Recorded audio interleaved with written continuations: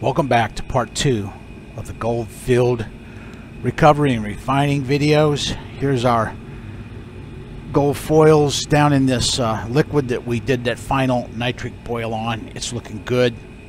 And I've moved the uh, filtering of our previous solution over here. Get it out of the way. What I'm going to do now is cut in the uh, vacuum limiting switch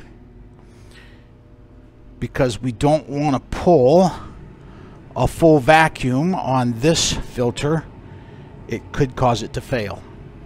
We're going to begin part two by filtering off this final nitric boil. As you can see that liquid is much lighter in color than the liquid in part one because it doesn't contain as much base metals as the liquid did in part one. So it's uh, fairly safe to conclude that all the base metals now have been removed from those gold foils. Now what we want to do is get the foils and the mud down into the filter, get all the liquid off of there, get it all rinsed off, and then what we'll do is uh, we'll be ready to go to the next step.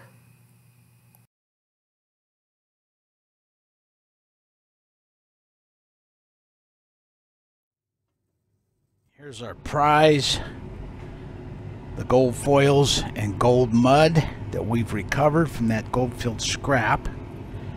And now what we'll do is rinse it out with some distilled water.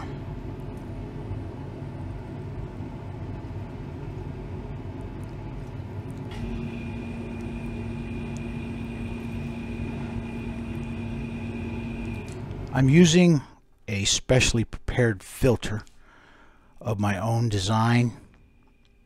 It's a 185 millimeter filter. What I do is I've got two funnels. This one fits perfectly down inside this one. So what I do is I use the smaller of the two funnels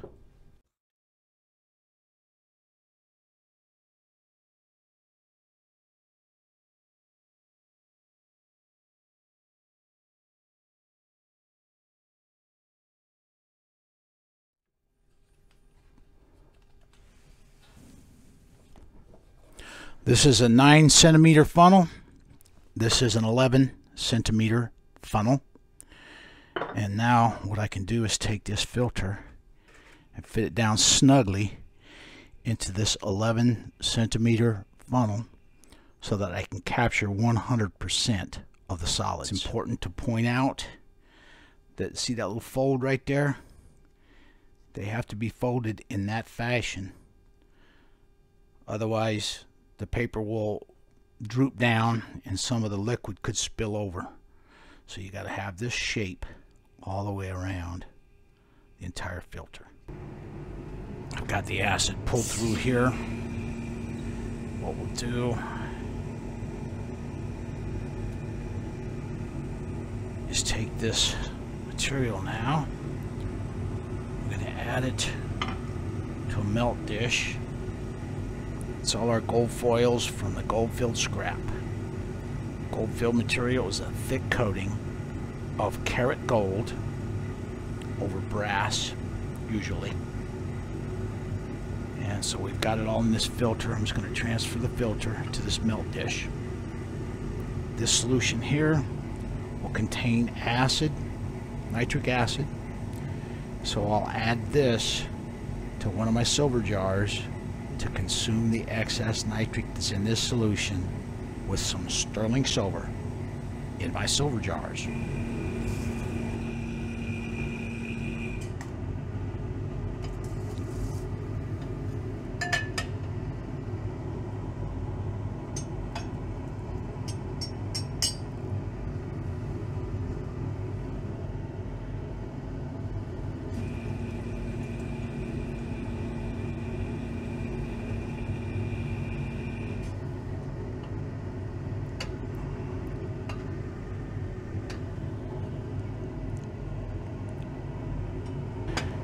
crowded in here.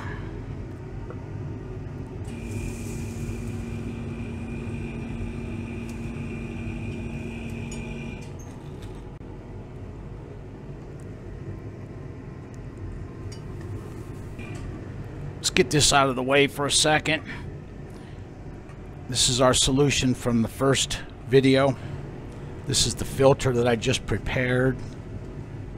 And we'll put that in this funnel.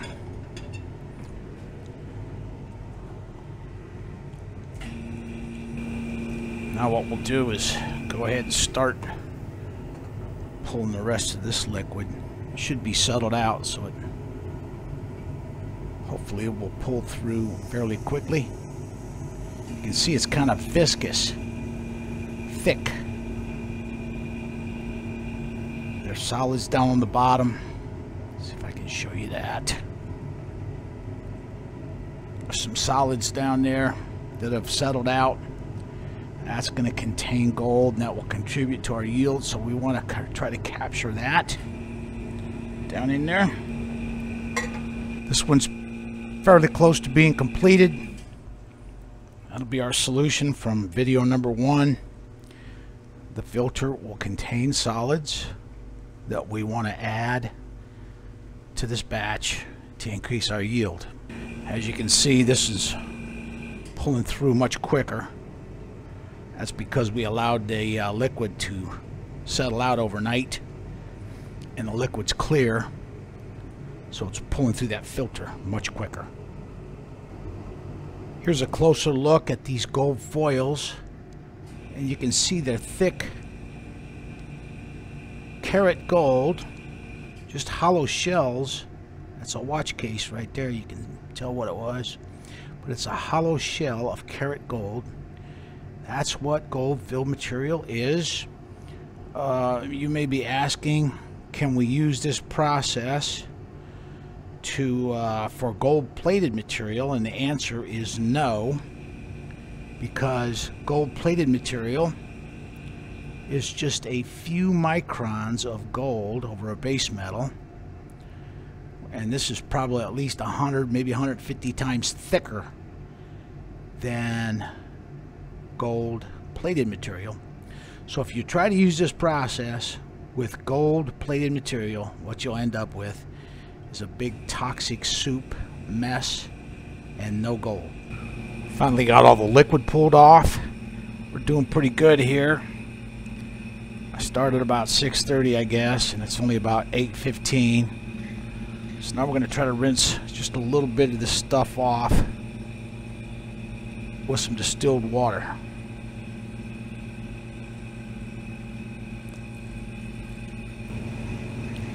It's only about 8.30 a.m. And we're looking good for time here. Might be able to get this thing finished up and published today. While we wait for that liquid to pull through those filters, let's take a look at the silver cells. You can see the current flow on both of these is real low. And uh, if you look down in here, this is silver cell number two.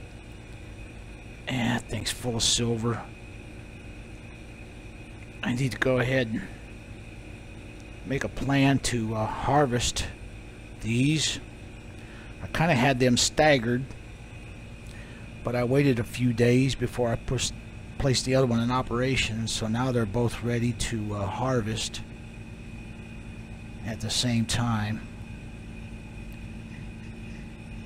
So, if you look up in the filters, filters are clogged up on both of them.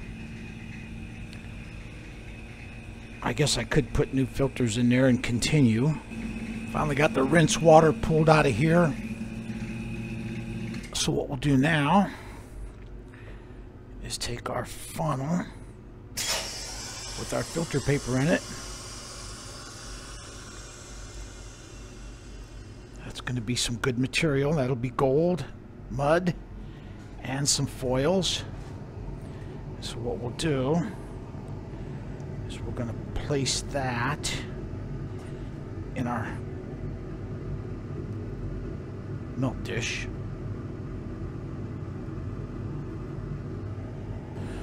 We'll do the same with this filter. Pull it down off the flask. I'm going to add this right on in to the melt dish, like so. Both these liquids now will contain silver. I'm going to set these aside and we'll save them. I'll precipitate out the silver as silver chloride and we'll recover that later, but not in this video. So what we're going to do is clean out our fume hood and get it ready for the next evolution. I need to do an incineration on this material, but I can't very well put my electric oven out in the rain.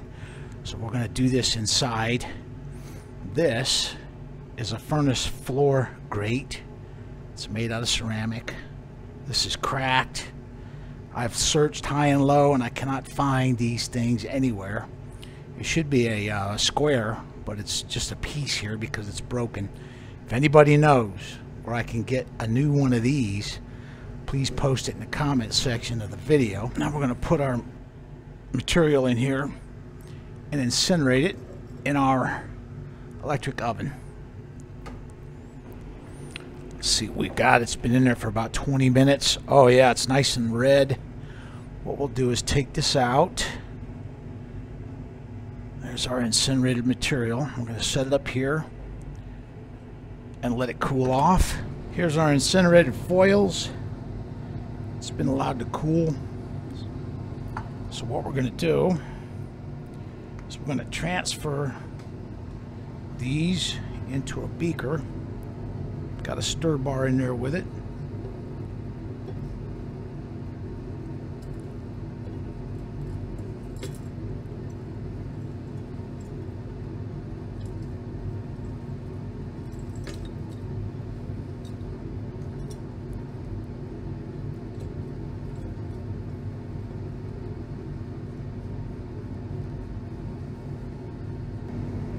I'm adding some hydrochloric acid which is the same thing as muriatic acid.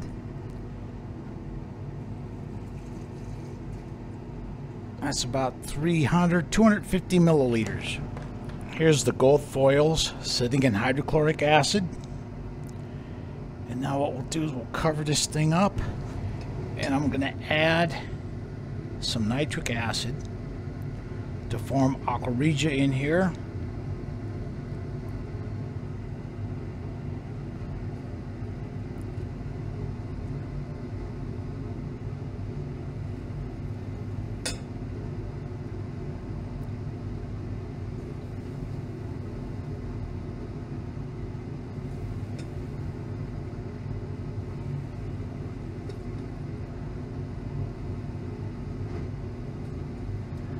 That's seven 3 milliliter doses for a total of 21 milliliters.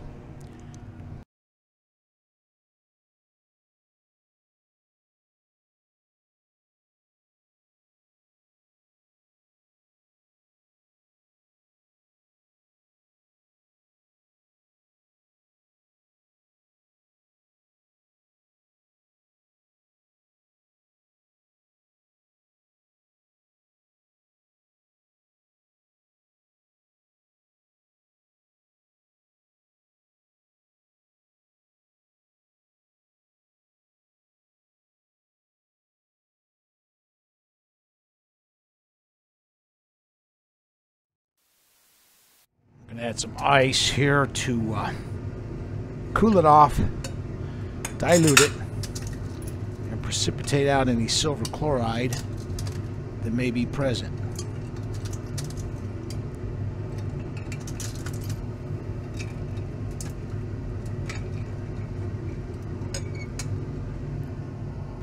Let's get down in here and do a quick Stannous test.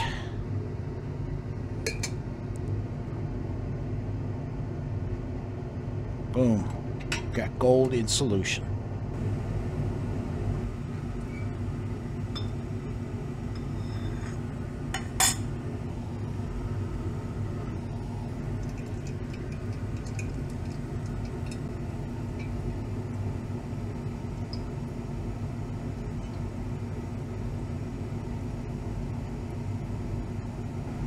Is pulling through fairly quickly.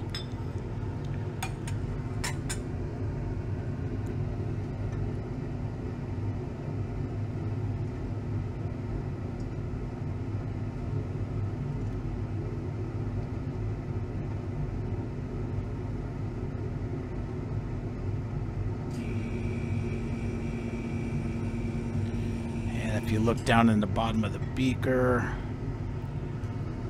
this is what we've got left down there.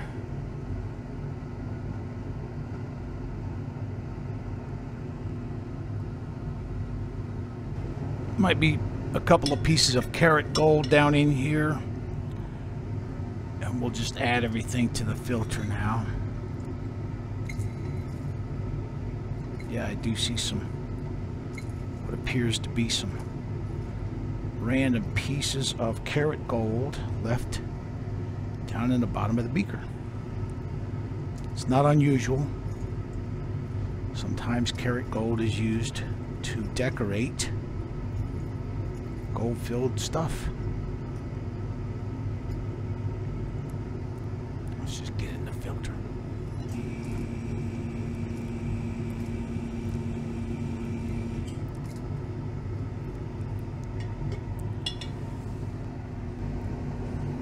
Let's go ahead and get this funnel off of here.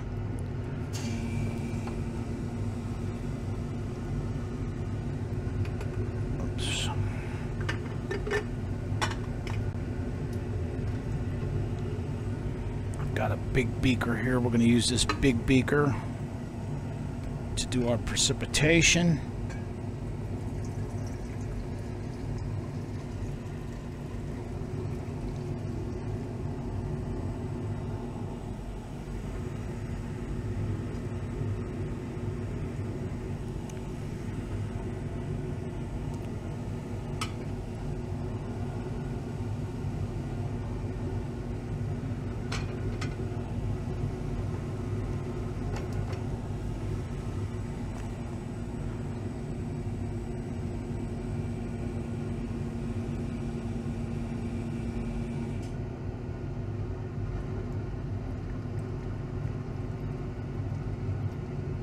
You can see there's a couple of pieces of carat gold in here. I'll pick those pieces out and we'll include that with our next batch of carat scrap. We've got the rest of the gold rinsed out of these solids now. Let's get this thing off of here. And we're going to add this little bit of gold solution to our main solution.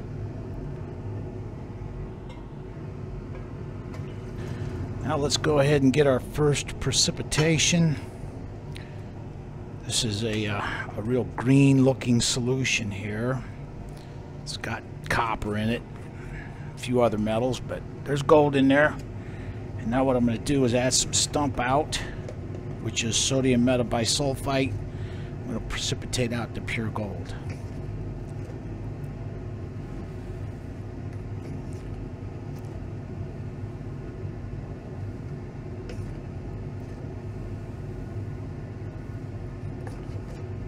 Should about do it. There should only be about 15 grams in here.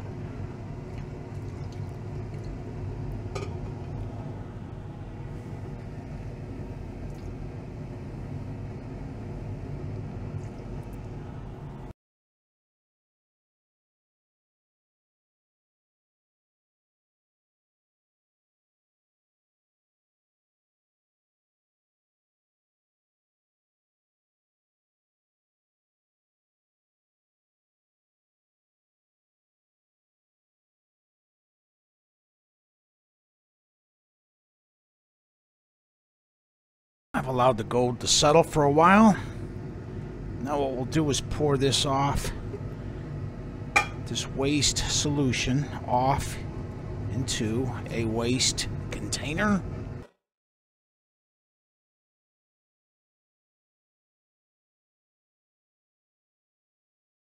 Look at our pure gold powder down in the bottom of the beaker.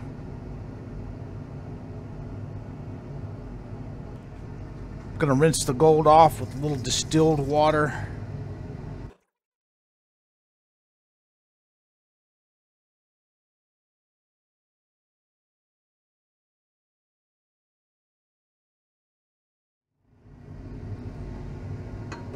I've got some hydrochloric acid here. It says muriatic acid, but muriatic acid is hydrochloric acid and hydrochloric acid is muriatic acid. pour a little bit on our gold here and give it a rinse with some hydrochloric acid right quick.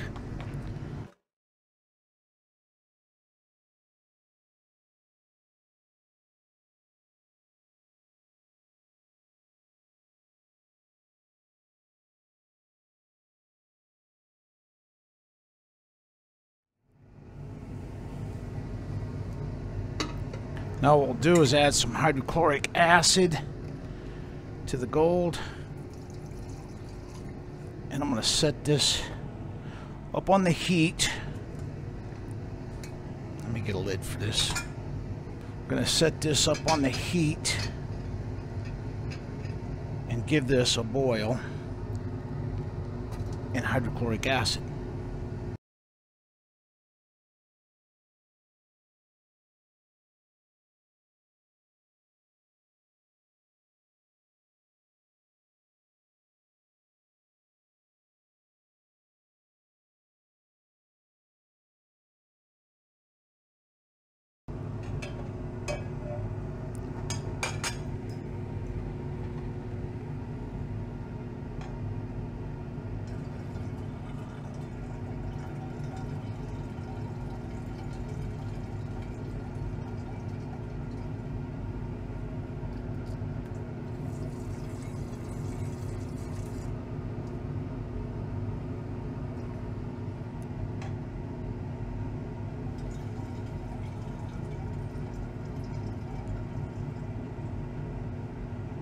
The gold is a total different color now after that hydrochloric acid boil. I'm going to set the gold up on this heater. And what I'll do now is add some uh, hydrochloric acid and a little bit of sulfuric acid to precipitate out any lead that may be present and then a few squirts of nitric acid. I'm going to put this gold back in solution a second time. Here we go. I'm going to start the time lapse. I'm adding hydrochloric acid, some sulfuric acid, and I added about 10 or 12 milliliters of nitric acid is all it took to put that uh, gold in solution. You can tell by the fumes there, there's some excess nitric in there.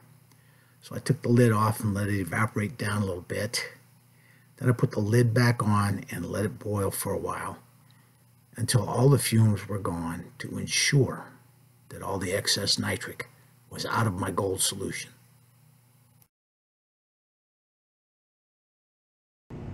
I've had our solution on boiling for quite some time now. I think we've driven off all of the excess nitric. I'm going to put it down here and let it cool off.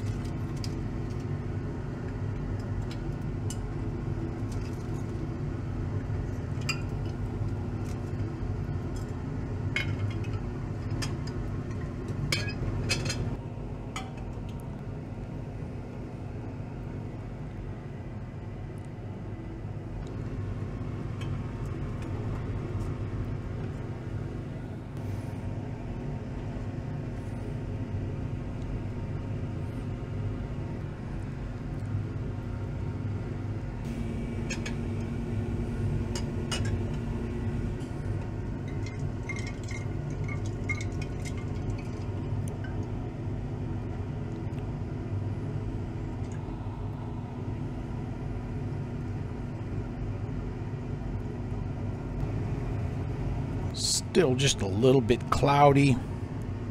So I think what we'll do is we'll run it through the same filter a second time, see if we get this to clear up for us.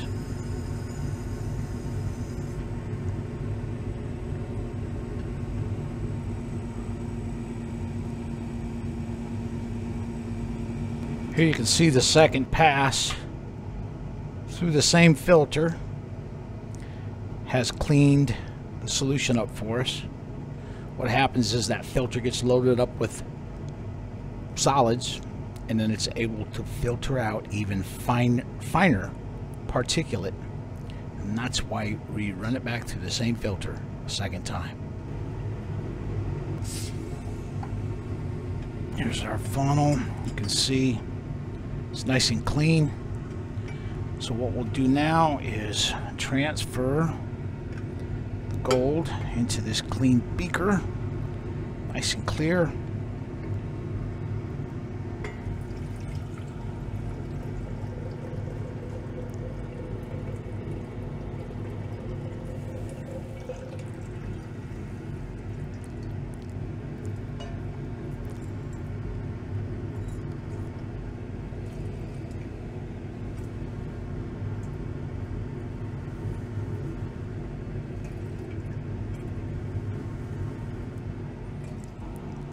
Reach in here and get a little solution on a piece of filter paper. I'm going to test it with some stannous chloride testing solution. You can see that dark stain right there tells us we've got gold in solution. This is the recipe for my stannous chloride testing solution. Gram of pure tin shot, one gram of stannous chloride crystals, 25 milliliters of distilled water, and 30 drops of hydrochloric acid. Shake it up and you can use it immediately. Now we're going to precipitate the gold second time with some stump out. Stump out bibonide is sodium metabisulfite. Here we go.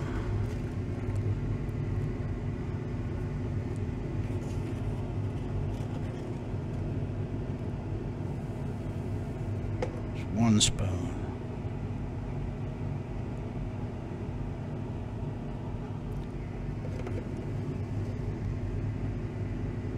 That's the second one.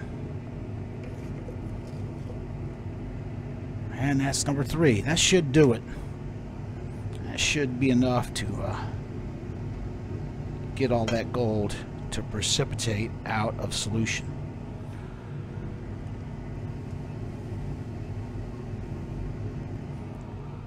Now we'll do another stannous test to make sure that we've got all the gold precipitated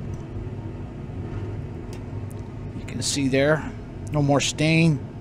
That means all the gold has precipitated out of our solution now. I think what we'll do is set this up on the heat and let it boil and that should cause the uh, gold to settle quickly. It's been on boiling for about 20 minutes now.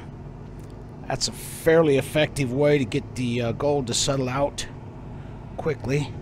So now what we'll do is pour off this waste solution.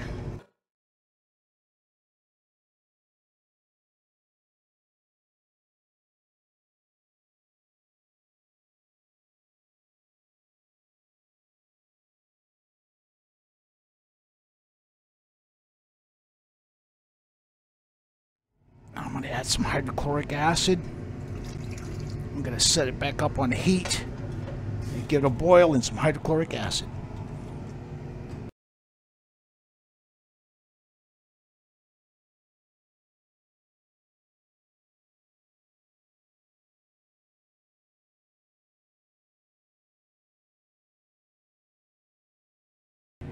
Now we're going to pour off this hydrochloric acid boil into our waste container.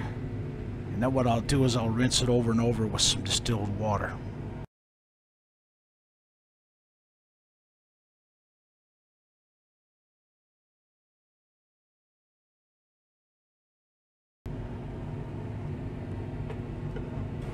Now let's transfer the gold into a melt dish here.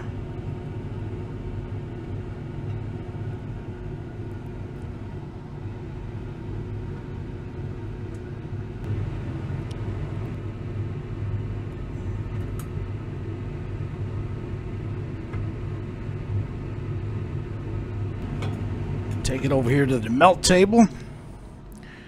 We're going to melt this up in ingot.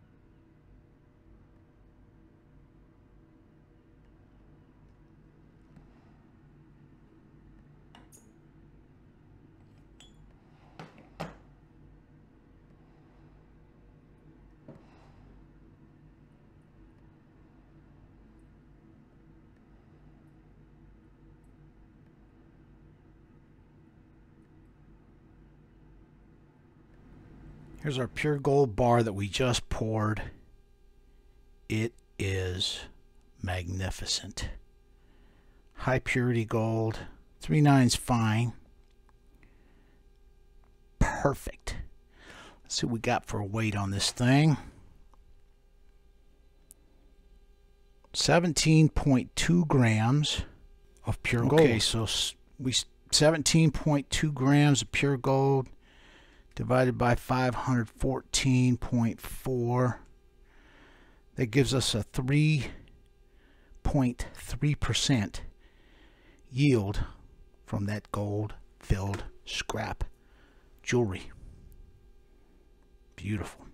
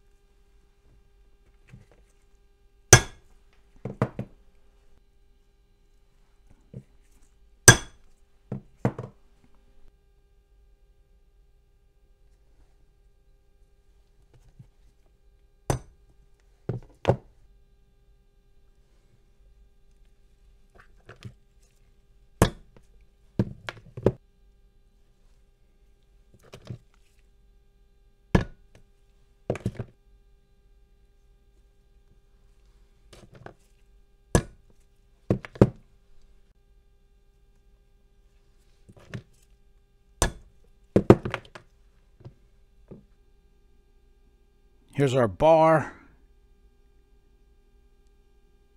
17.2 grams, 999 fine gold, sreetips.